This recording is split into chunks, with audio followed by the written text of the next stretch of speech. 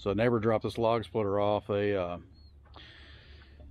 it's a homemade deal, I guess. I don't know a whole lot about it other than uh, it broke the wedge off. So I'm gonna grind all this stuff back out, grind all this back out, and try to get us a clean surface to weld to, and then I'm gonna weld that back on.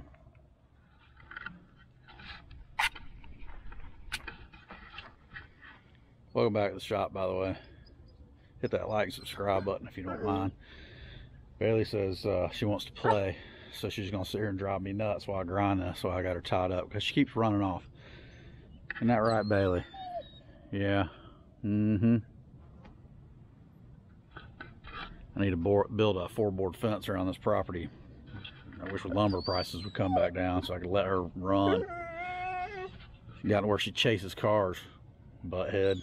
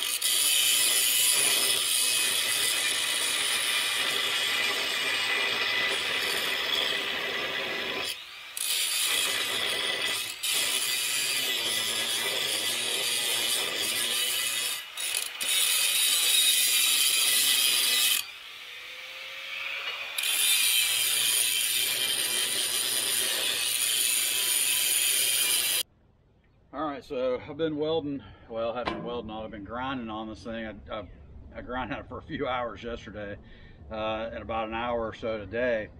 Uh, I had to take acetylene torch and cut a pad off the bottom of this. Had this is a very crudely made uh, log splitter, it's a homemade deal, obviously. Uh, I didn't make it. Uh, I'm just trying to fix it for them, and uh, so I've been doing a lot of grinding, trying to get this thing somewhat uh, flat onto the surface. It has really big lumpy welds all over the place. Um, I'm not a, a pro welder. Um, I've welded in the past uh, in my shops when I've needed to. Um, I've always wanted to learn how to TIG, but I don't have a TIG machine. So we're gonna, I've just got this uh, 100 and, uh, I don't know, it's 182 it's an Auto Arc 182. It's a 230 uh, volt MIG, um, but it's uh, it it's you got to know its limitations. And I told him I said I don't know if this my welder's hot enough for this or not. Um, I'm gonna uh, wipe this down a little bit with some acetone. Uh,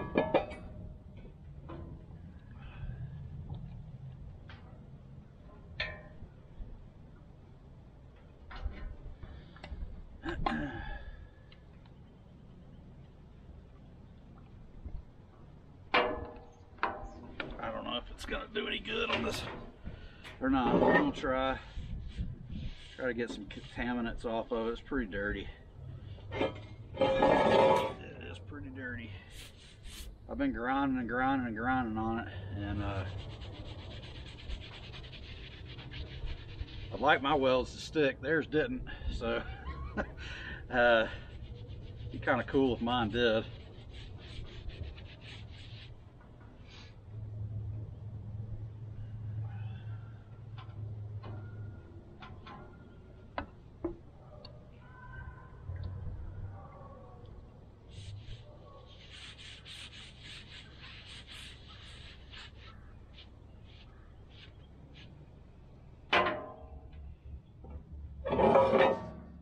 This thing's still hot where I've been grinding on it.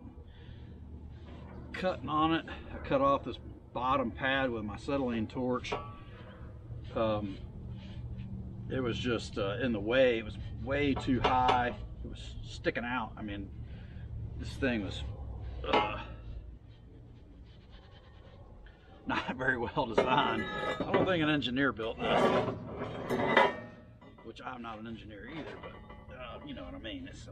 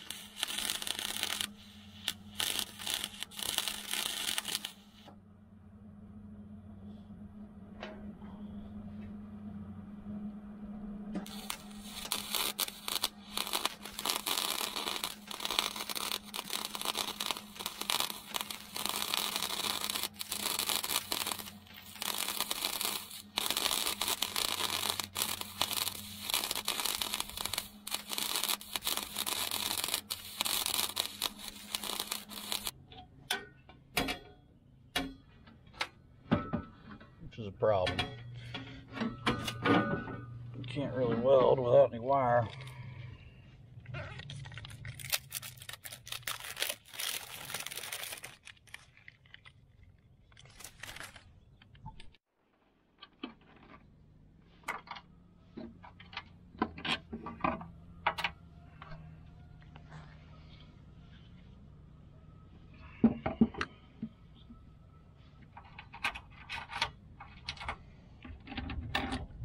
get our wire put back on, get back to our crappy welding.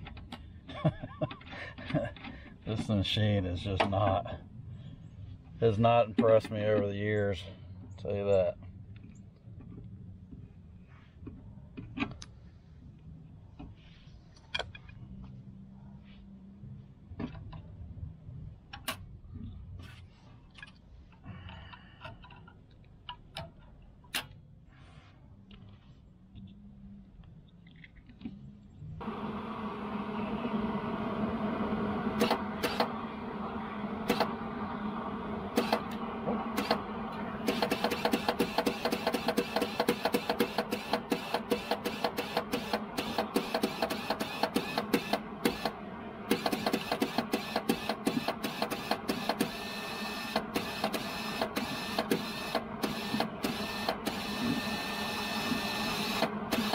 There we go. All right. Setting this thing up at 3 and 90. Um, according to this, a solid wire. I've got a gas mix here. Um, I'm running 030 wire. Uh, we're 3 8 thick uh, of, over there. I mean, 3 and 70 would be 3 16ths supposed to be the thickest this thing will weld. I mean, uh, I don't know. Maybe we'll try 370. Stick it on 3 and 70 and see how it does.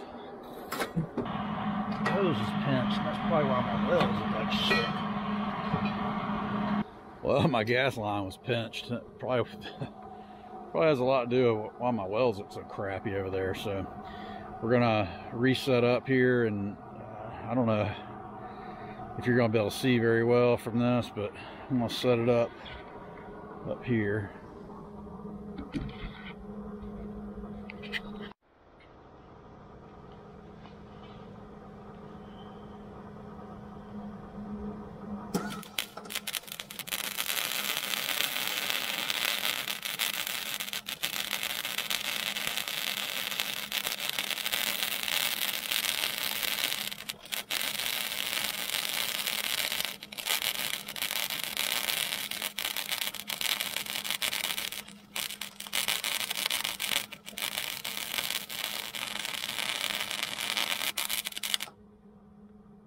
That's better. I'm gonna try to build up feed right here and grind it all back out.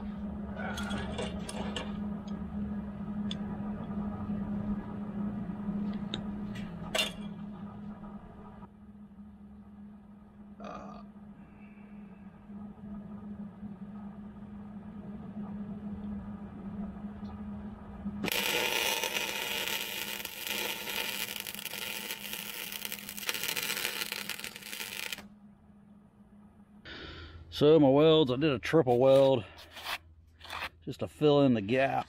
And I weld up the blade and I'm gonna grind all that back out.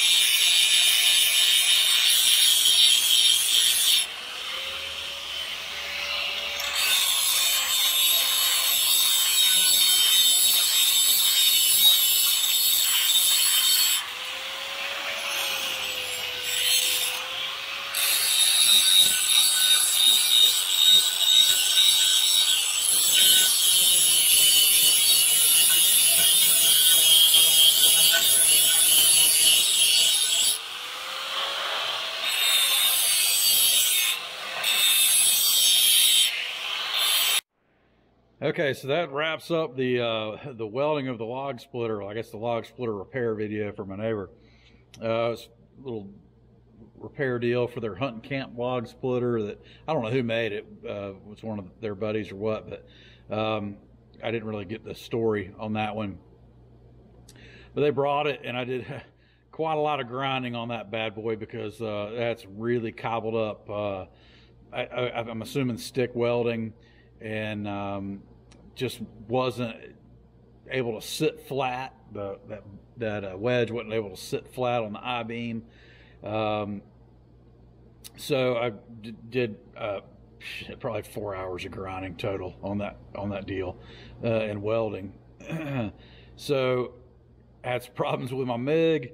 That little uh, MIG welder is is uh, I mean it'll stick some metal together. It just doesn't do it very pretty. Um, I've used other MIG welders and had much better success. I'm just uh, not fortunate enough to own anything better right now. So, uh, any welding supply companies or you know welding companies that want to pony up and uh, support the old channel, hit me up. I'd love to have a better welder. Um, I love making stuff out of metal and uh, fabricating, but I just just don't have the the equipment to do it properly. But you know, it gets me by. A good grinder and a, and a shitty welder uh, will get you through through your tough times. Uh, we appreciate you watching. Uh, we being me, appreciate you watching. Thanks for hanging out. Uh, don't uh, beat me up too bad about those welds. I, I did those those triple beads. Um, kind of to fill in some gaps. So just you know, I could have done a couple more hours of grinding, maybe, or made a whole new wedge, and probably made it a lot prettier. Uh, but I just I decided to, uh, and in my first couple welds, uh, like the spot welds I did, my gas line was pinched uh, for me dragging it out of the shop and into the yard, the MIG welder uh, on the cart. I guess the gas line got flopped in between the the tank and the the welding machine. So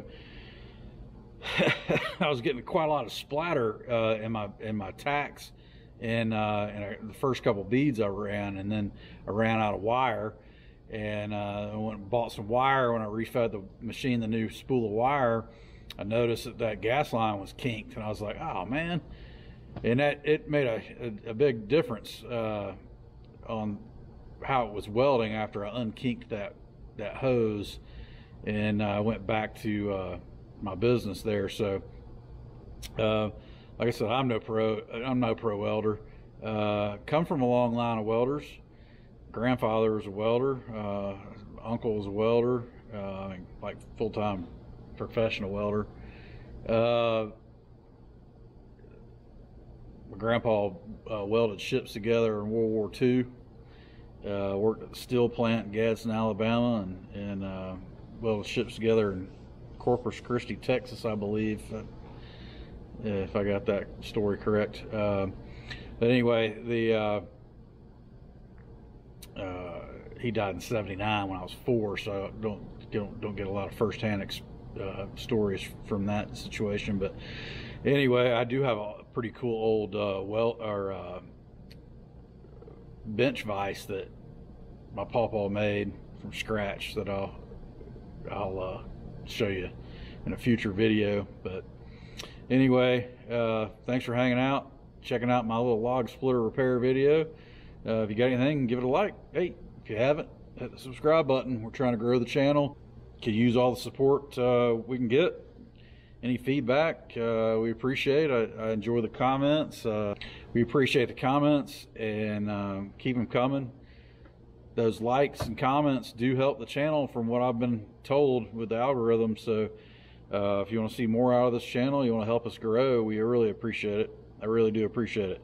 Uh, all right, catch me in the next one. Peace.